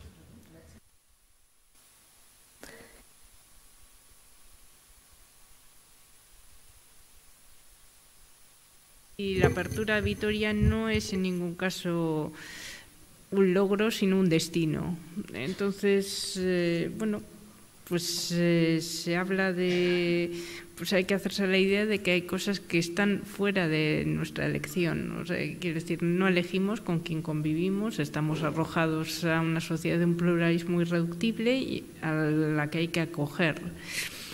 Bueno, pues eh, desde luego eh, Vitoria es una urbe, es una ciudad, es también la calle, lo que tiene de experiencia vital impredecible y diversa, y es también comunidad, pero la comunidad es siempre algo que emerge después de los restos de la batalla, de, de, de, del, del, día a día. Es lo que emerge cuando desistimos de decidir lo que lo que está después. No se puede contar con ella y de hecho quien la enarbola, pues de quien la enarbola a veces hay que sospechar. Mm, Menchu, no sé si quieres aportar algo. Para mí, sentido. el concepto que ya lo comentamos en la radio, ella habló de ciudad de, de personas cojas y locas. Para mí, ese concepto en bonito es una ciudad inclusiva. También eh, considerando a personas diversas, de diversas procedencias. Mm, yo creo que si Vitoria consigue ser una ciudad inclusiva, eh, o, bueno, ya lo está siendo, pero, pero creo que es la tendencia y es la, necesidad, ¿no? La de eh, atraer, retener personas que quieran hacer proyectos de vida aquí, que aporten valor y, desde luego, que evitemos que haya personas en la pobreza. Ni un 5% ni, ni un 0,7, cero personas, porque recursos hay, lo que pasa que ya sabemos que no están bien redistribuidos. Muchos temas han salido aquí. Se ha hablado de una sociedad justa o de una redistribución de las rentas, de la educación, decía José Ángel, es la herramienta ¿no? Eh, para esa ciudad sostenible, bueno, uno de los paradigmas que ha salido últimamente. Eh, cada uno de vosotros apuntabais eh, distintos aspectos importantes para ese todo del que no podemos escaparnos y que está ahí. Melania ha dicho que no es cuestión de elegir, es lo que tenemos. Se tratará de afinarlo un poco, de tender a ir hacia una ciudad que bueno, pues nos incluya mejor. ¿no? Vamos a. Gracias, Iván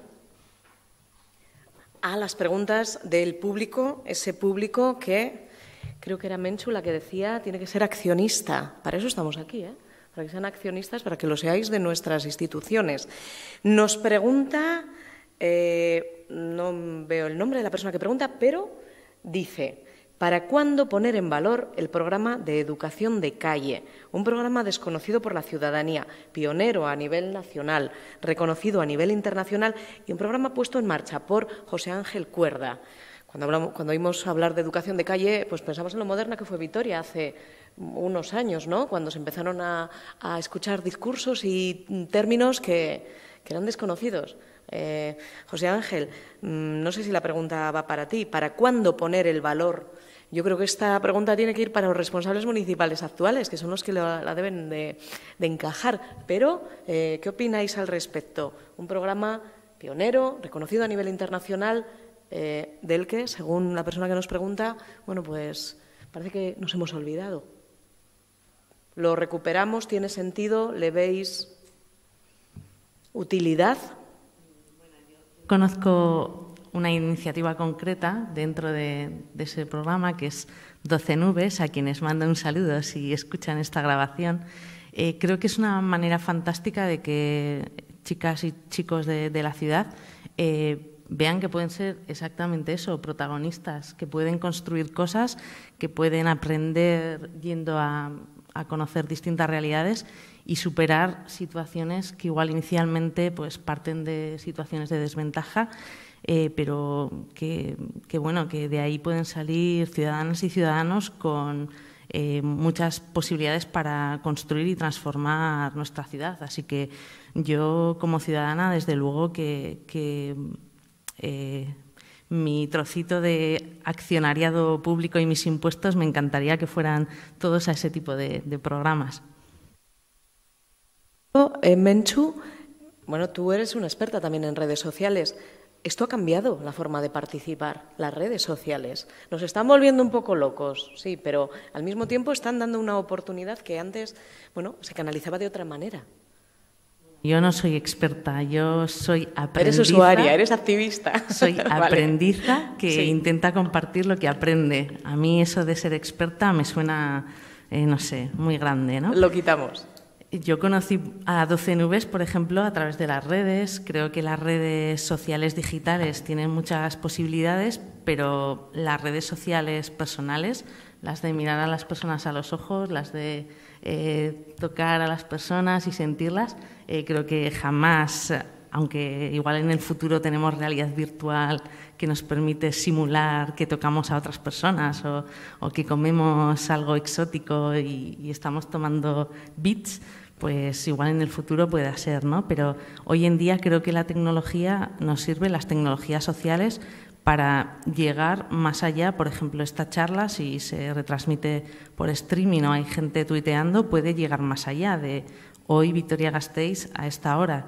Pero creo que la interacción personal que se puede generar ahora o si la gente se anima a participar más, eh, a nivel tecnológico no, es viable. Es un complemento, no un sustituto.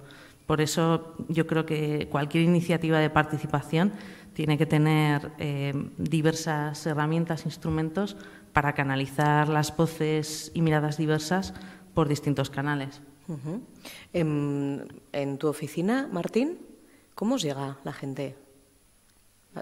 Yo quería hacer eh, mención, si no te importa, al, tema de los educadores de calle y tal. La verdad que nosotros últimamente hemos tenido contacto con los educadores de calle en relación, bueno, pues con iniciativas del, casco viejo y tal. y la verdad que me parece, parece una maravilla ¿no? que, que desde, las, desde las administraciones se intervenga, digamos, en, en, estos, en estas personas, los sujetos, los jóvenes, tal, que andan ahí diseminados por la ciudad, ¿no? Y que siempre, eh, bueno, no sé, o tradicionalmente nos hemos, eh, no sé, acercado a ellos, pues a través, no sé, se me ocurre de, de, la vía represora, entre comillas, policía, no sé qué, oye, ¿qué haces aquí? Yo qué sé. Me parece interesantísimo que desde la, desde la administración, desde el ayuntamiento, se tenga un contacto, ¿no? Para otros fines, para el fomento, para, eh, bueno, pues para, para, trabajar con esas, con esas personas, ¿no? Que haya ese control social, pero desde el, buen, desde el punto de vista positivo, ¿no? Y ya digo, en ese aspecto últimamente hemos trabajado y la verdad que tenemos una experiencia, pues, pues muy positiva, ¿no?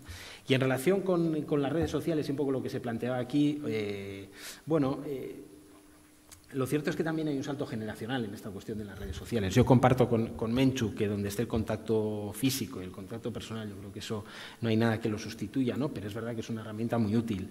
Desde el punto de vista de la participación también es un reto para las administraciones porque si queremos llegar a la ciudadanía pues eh, tendremos que hacerlo a través de estos nuevos cauces y nos va a exigir una adaptación ¿no? también, eh, también desde el punto de vista de la, de la transparencia y demás. ¿no? Pero es verdad que también hay un salto generacional y entonces no todas las eh, personas de todas las edades están adecuadas a, estos nuevos métodos. ¿no? Entonces también podemos correr el riesgo de dejar aparte la ciudadanía eh, digamos, eh, a un lado si nos centramos excesivamente en, las redes sociales y demás. ¿no? Me parece muy positivo, pero teniendo en cuenta eso. ¿no? Hay personas mayores, personas de cierta edad o de la nuestra que, bueno, pues que no están tan en contacto en ese ámbito. ¿no?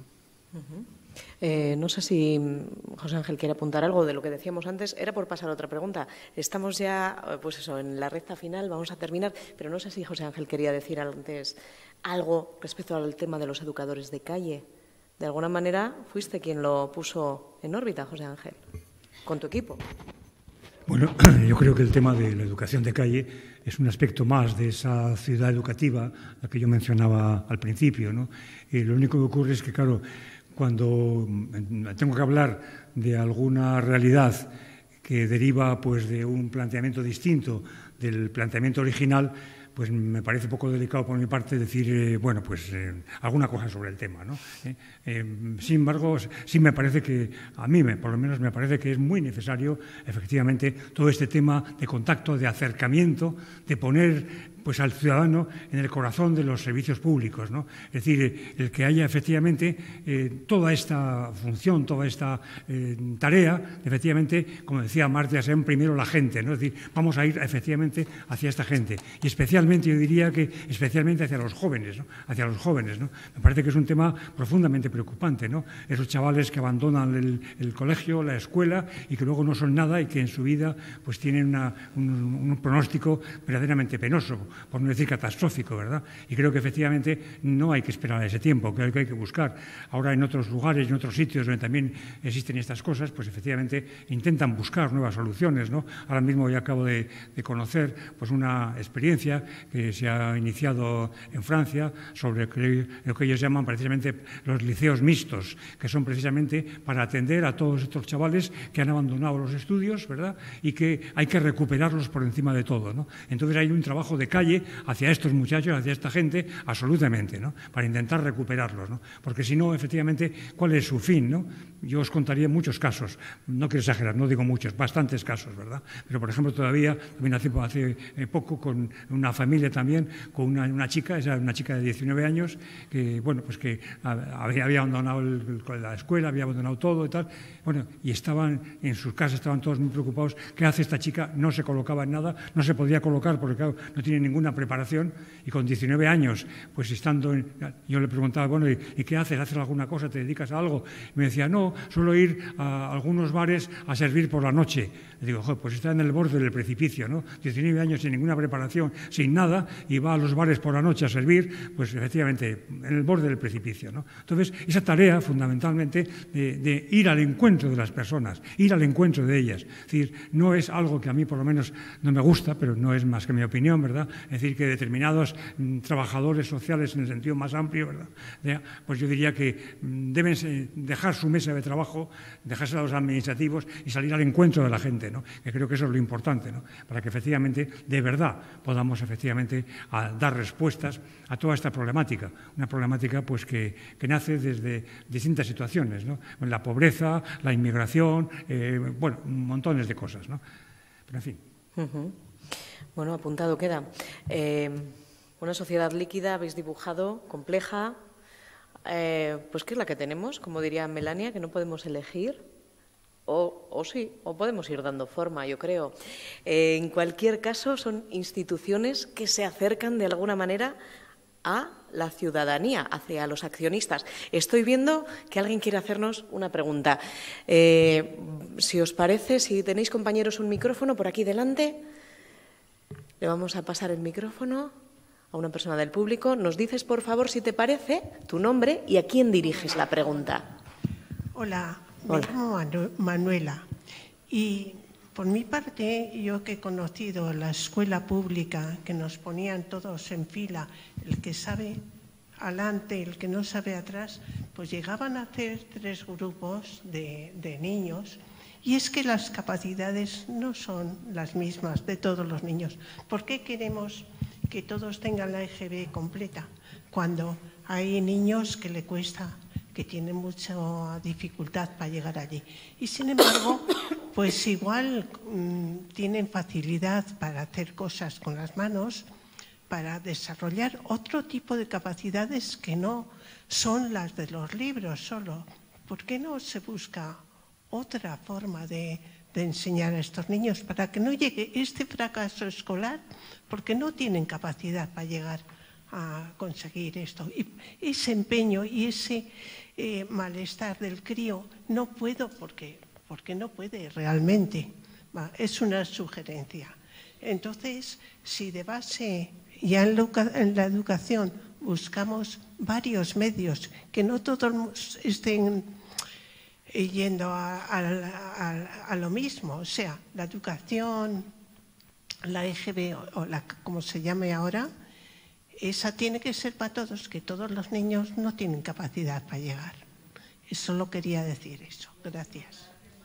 un apunte de Manuela, muchísimas gracias. No sé si alguien quiere recogerlo. Menchu. Comentar que la escuela que tenemos es del siglo XIX para formar a ciudadanas y ciudadanos del siglo XXI. Hay distintas alternativas. Lo que sucede es que la escuela pública pues, tiene unos patrones determinados de, de aprendizaje con unos resultados que todo el mundo tiene que tener, pero ya hay alternativas que trabajan con inteligencias múltiples. Esa persona que usted comenta igual no llega a determinado nivel de de conocimiento, de una inteligencia más matemática o, lectora o compresiva, pero igual es un artista pintando, bailando o mm, otras inteligencias. Entonces, eh, lo ideal sería que a las personas se nos valorara por nuestras habilidades, nuestras eh, capacidades y no por aprobar un examen. Yo creo que poco a poco esto irá cambiando, porque si no pues tendremos eh, gente que aprueba exámenes y gente que suspende pero que tiene competencias valiosísimas para la sociedad, pero no tiene un, título al final. También hay empresas pequeñitas como Google que ya no tienen en cuenta los, los expedientes académicos, sino las habilidades reales de las personas para programar o para resolver problemas. Entonces, bueno, no sé si Mercedes o empresas que tenemos por aquí pequeñitas valorarán también ese tipo de habilidades o seguirán valorando tener un papel que diga que soy lo que sea. Es que ricas Menchu. Eh, no sé si hay alguna otra pregunta por parte del público. Sí. Pues aquí de nuevo reclamamos el micrófono, por favor. Si eres tan amable, nos dices también tu nombre y a quién diriges la pregunta. Y yo creo que con, esta pregunta vamos a ir terminando, que estamos cumpliendo la hora y nos hemos ajustado muy bien ¿eh? a, los horarios establecidos. Cuando quieras. Eh, Arrachaldeón, Arrachaldeón Gustioí, soy Ana Oregui y, a todos. Es un, poco una reflexión que se me, viene a la cabeza escuchándoos, ¿no? Que por cierto muchas gracias y interesante la sesión. Eh, me ha resultado interesante y, la verdad es que novedoso, yo no te había oído nunca, el tema de accionista, de, ser accionista. Pero mm, yo le daría una vuelta más y a mí, a mí accionista no me gusta. A mí, para mí, accionista no me gusta. A lo mejor me gustaba más cooperativista, ¿no? Yo igual me iba más a, que fuéramos cooperativistas de nuestra ciudad. Y dentro de esa idea del, del cooperativismo, de la cooperación, eh, la pregunta que me gustaría lanzaros es, intentamos siempre, entre todos, estamos intentando buscar que la gente participe.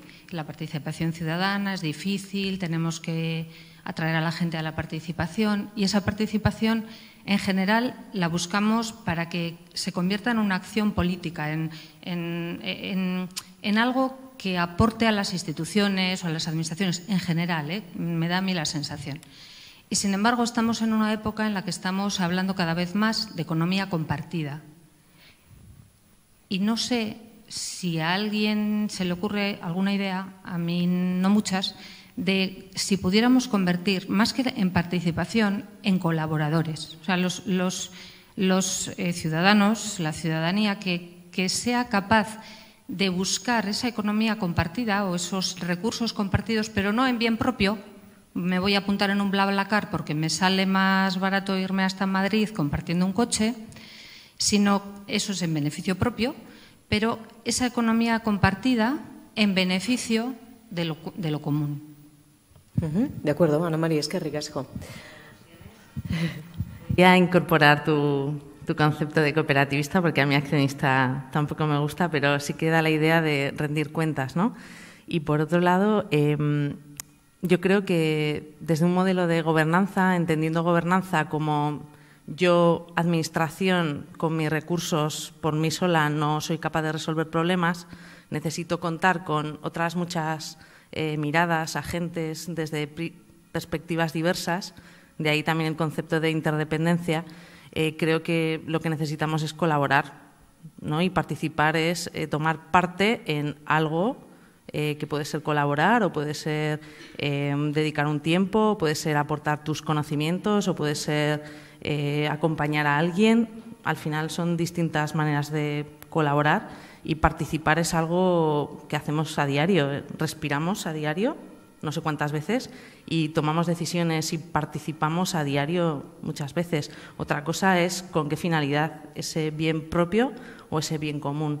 Y los murales, por ejemplo, de Vitoria, para mí es un ejemplo clave, práctico y que comienza un día y termina otro día, pero luego para toda la ciudadanía es algo que está ahí, que además hace que las personas que participan en ese proceso cambien, cambien su manera de, interactuar con las otras personas y cambie también su, no sé, o se, se sientan orgullosas de haber construido algo de la nada. ¿no? Yo creo que nos faltan esas experiencias pequeñas, concretas, que nos ayuden a, creernos que aportar por lo común eh, nos aporta. No solo las personas que llevan toda la vida en asociaciones, sino, pues, por ejemplo, eh, poner un alcorque enfrente de mi casa. ¿Por qué no? ¿Por qué no podemos cuidar el alcorque que está enfrente de, de mi casa y así seremos más respetuosas con los plásticos que cuando hay viento vuelan por la ciudad, ¿no? No sé, pequeños gestos que hagan cambios en la manera de entender eh, cómo vivimos en nuestra ciudad y cómo queremos que sea nuestra ciudad. ¿Alguna otra respuesta, Ana Mari? Sí, Martín.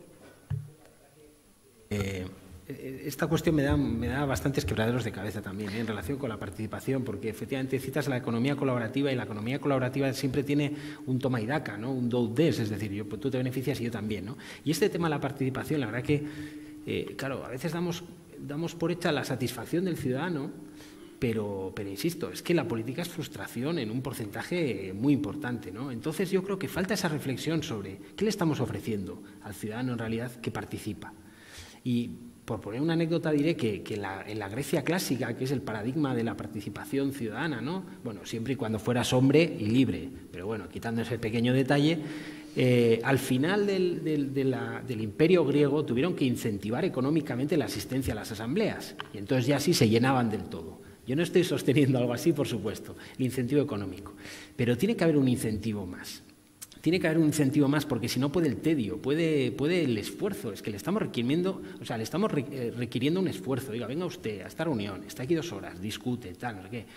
Se me ocurre, por ejemplo, una idea humilde, pero que podría funcionar o no sé, es que el, compromiso es más potente cuando es un compromiso colectivo. Entonces, si yo voy a una, reunión, muchas veces pasa, ¿no? Órganos de participación. Vas a una reunión, no conoces a nadie, o con suerte conoces a algunos y eres del mundillo, ¿no? Pero si vas pues charlas con los de tu mesa y dices, joder, qué gente más interesante, tal, ¿no? Pero te vas a tu casa y ya está. Si al día siguiente no vuelves, nadie se va a acordar de que no estás. Se me ocurre que producir el vínculo, por ejemplo, entre los propios miembros de ese órgano no estaría mal. Es decir, que tú vayas una vez al mes, una vez cada dos meses, a, encontrarte con tus amigos del órgano de participación, con los que estás eh, a gusto, que les conoces, que sabes algo de ellos, qué tal, pues igual eso implicaría, oye, que no has venido a la reunión, qué tal, yo qué sé, ¿no? Pero es que ahora tú vas, no vas, y es un poco lo mismo, no conoces a nadie, está bien, es interesante, pero, por ejemplo, se me ocurre, ¿no? Y, luego, claro, el resultado, por otra parte, eh, Claro, el alcorque, fíjate que yo tomo el ejemplo del alcorque, está bien, ¿no? El alcorque al lado de casa. El de al de casa sí. Ya el del barrio de al ya no sé si me apetece tanto colocar el, el alcorque y el barrio al lado, ¿no? Entonces, esta es la cosa, es decir, al final buscamos por aquellos intereses que nos afectan más directamente, lo otro es más etéreo y estamos dando por hecho, están dando por hecho las instituciones que el ciudadano tiene una satisfacción intrínseca de, la participación ciudadana. Y yo no tengo tan claro si es así si os fijáis, mucha gente que participa en los órganos lo hace en, representación de, te manda la asociación, oye, vete que hay órgano de tal, por ejemplo. Los ciudadanos particulares, pues son pocos. Eh, tiene que ver con el tiempo también, ¿no? Eh, si no tengo tiempo, ¿cómo voy a participar? Entonces, por ejemplo, la edad, pues, pues en este tipo de órganos puede haber más personas jubiladas. ¿Por qué? Porque tiene más tiempo, pero también tiene que ser más significativo de toda la sociedad.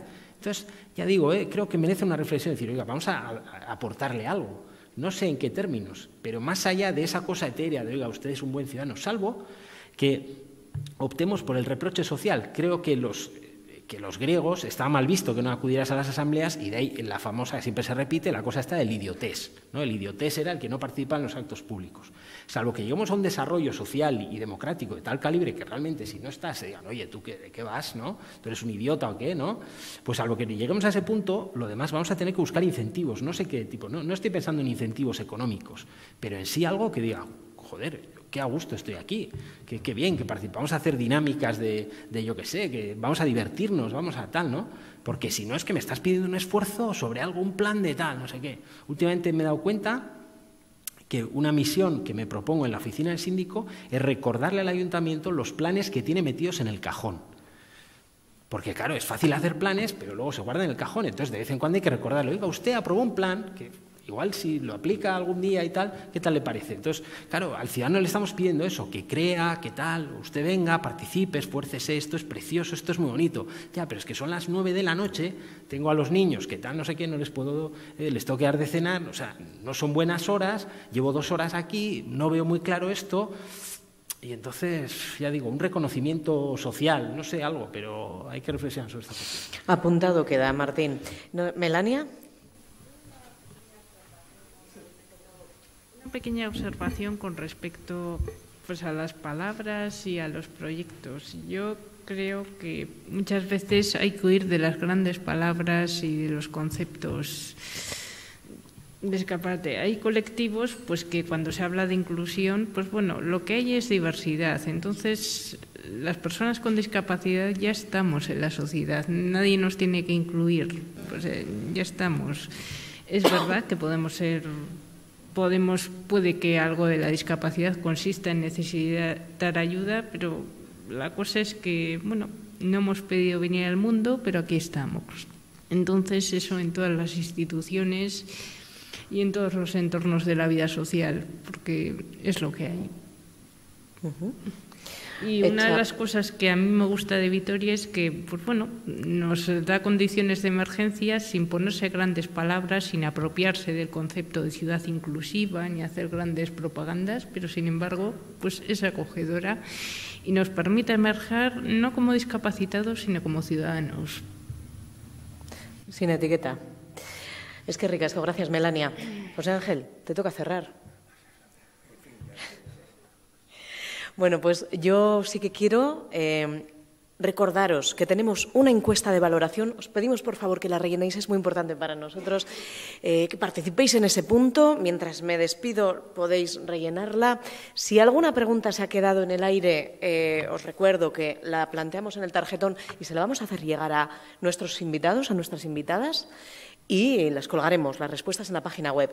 Quiero dar las gracias por estar aquí y por haber compartido este rato de su tiempo a Melania Moscoso, es que ricasco Melania, a Menchu Ramilo, muchísimas gracias, a José Ángel Cuerda, gracias José Ángel, y a Martín Garchaindía. Ha sido valiosísimo este tiempo compartido con vosotros. Claro que hay que seguir dándole forma y concretar ideas, eh, propuestas. Para eso estamos. Afortunadamente no tenemos ahí un plazo, tenemos toda la vida por delante. Creo que lo del plazo eh, no nos lo han puesto, no nos lo han impuesto como esos diez minutos del principio, al menos. Es que ricasco eh, keinu hizkuntza eh, eskaini dutenei, eskerrik asko gure publikoari, gure cooperativistas, Muchísimas gracias a todos por participar porque se hace haciendo y, se participa participando, y es que es así. Lo de los incentivos le vamos a dar una vuelta, seguro, ¿eh, Martín? Eh, os convocamos, si os parece, de cara a la siguiente eh, propuesta de la Escuela Abierta de la Ciudadanía. Será la siguiente cita la jornada de puertas abiertas para conocer tu ayuntamiento. Antes apuntaba también Martín, es complejo, es bastante a veces intrincado el funcionamiento de las instituciones. Bueno, una manera de conocerlas es viniendo, de modo que el ayuntamiento va a abrir sus puertas el 21 de marzo, la semana que viene, en una visita guiada en castellano y el 4 de abril en una visita guiada en euskera. Estáis invitados, estáis invitadas para que vengáis con quien os apetezca. Va a ser un día interesante, una oportunidad también de bueno, acercarnos a lo público. No me demoro más, lo dicho, es que ricasco guzti hoy da urrengorarte, mi esker.